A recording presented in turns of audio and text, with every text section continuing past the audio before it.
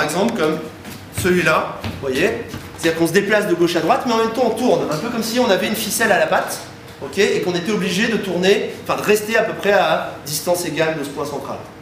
Le plan impossible à traquer tout seul, c'est le plan où vous vous déplacez de gauche à droite et vous faites un mouvement inverse, c'est-à-dire comme ça. Et je vais vous expliquer pourquoi c'est... Je le fais bien. Et vous expliquer pourquoi c'est impossible à traquer. Le but d'un tracker 3D, c'est d'essayer, dans un premier temps, de faire ce qu'on appelle une calibration. La calibration, c'est quoi? C'est d'essayer de retrouver la position en 3D, donc dans l'espace, de ces différents points qui, pour l'instant, ne sont que des points en 2D, dans une image. Le principe de la géométrie bipolaire, c'est ça, c'est ressortir des informations 3D à partir de plusieurs axes de vue différents de la même scène, en 2D. Ok? Pour faire ça, on va demander à Blender de se baser sur deux images. On pourrait lui demander de se baser sur plus, mais là actuellement ça ne gère pas. Euh, dans Synthesize aussi c'est pareil, enfin, tous les trackers 3D sont sur deux images, mais on pourrait théoriquement lui demander de se baser sur plus. Deux images, par exemple, au pif, hein, par exemple celle-ci, la 120, alors c'est pas celle que j'ai prise je crois, mais la 120, et puis là, par exemple, 30, euh, voilà la 30. D'accord? Pourquoi j'ai choisi ces deux images? Parce que ces deux images assez éloignées dans l'animation, et surtout, ces deux images qui représentent une même vision de la scène, avec les points de vue les plus concentriques possibles. Quand je regarde par exemple l'appareil photo d'Eddie, qui me filme, je le vois sous cet angle-là, et donc je vois par exemple les personnes qui se trouvent derrière, qui se trouvent à sa droite. Si maintenant je le regarde en me tournant sur cet autre axe de vision, eh ben, je vais avoir cette fois-ci un plan, donc deux plans qui sont concentriques. C'est-à-dire que si je devais placer par exemple une arbalète là, pour planter la tête d'Eddie, et une autre arbalète là, il ne peut pas s'en sortir, parce que les deux flèches vont vers lui. D'accord? Les deux axes de cam vont faire pareil. Vous allez choisir deux images dans le plan, une qui va se trouver par exemple ici, et devant laquelle en fait on va mettre une espèce de feuille de papier qui va représenter cette image-là, avec les points traqués en 2D dessus. Ok Et ce qu'il va faire, c'est qu'il va envoyer un peu comme des aiguilles à tricoter, hein, je n'ai pas le matériel, je suis désolé.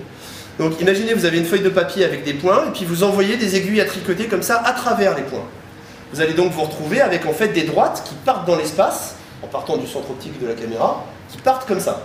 Ok Deuxième étape, on fait exactement la même chose, en partant cette fois-ci du deuxième point de vue avec les mêmes points qui ont été traqués. Il est très important que ce soit les mêmes points. Et on envoie aussi, à partir du centre optique de la caméra, des droites. Et là, vous allez avoir du coup deux caméras qui ont des droites qui se barrent, là, comme ça, et dont, par exemple, ce doigt-là correspond à ce doigt-là, parce que c'est le même point. Ok? Et ce que va faire Blender, quand je vais lancer le calcul tout à l'heure, vous allez voir, il calcule pendant, je sais pas, une dizaine de secondes. Hein. Après, selon les logiciels, c'est plus ou moins long. Boujou, c'est plus long. Synthesize, c'est plus rapide. Ça compte eh bien, ce qu'il va faire, c'est qu'il va prendre ses cams et il va les tourner dans l'espace, comme ça, jusqu'à ce qu'il y ait deux droites concordantes qui se croisent. Ici.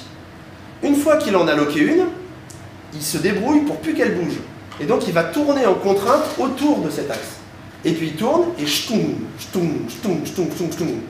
Et quand toutes les droites se sont croisées, ou approchées, parce qu'elles se croisent jamais vraiment, ça veut dire que les deux caméras qui sont bah, dans leur position représentent la position des deux caméras, donc qui ont été utilisées, ce qu'on appelle les keyframes, donc les images de référence. Mais aussi, surtout, l'intersection des droites représente la position des points en 3D. D'accord? Donc à partir de deux images, juste deux images, avec les mêmes points shootés de deux endroits différents, concentriques, j'insiste sur le concentrique, vous allez comprendre pourquoi après, du coup, les caméras bah, sont faites pour se croiser, donc les droites vont se croiser. Et l'endroit où les droites se croiseront, ce sera la position des points. Et pendant cette phase de reconstruction, plus vous avez de points, et là je réponds à ta question, euh, oui, excuse-moi, voilà. Plus vous avez de points, mais plus ils sont précis, parce que là c'est le serpent qui se mord la queue, si tu fais le con, il fera le con. D'accord?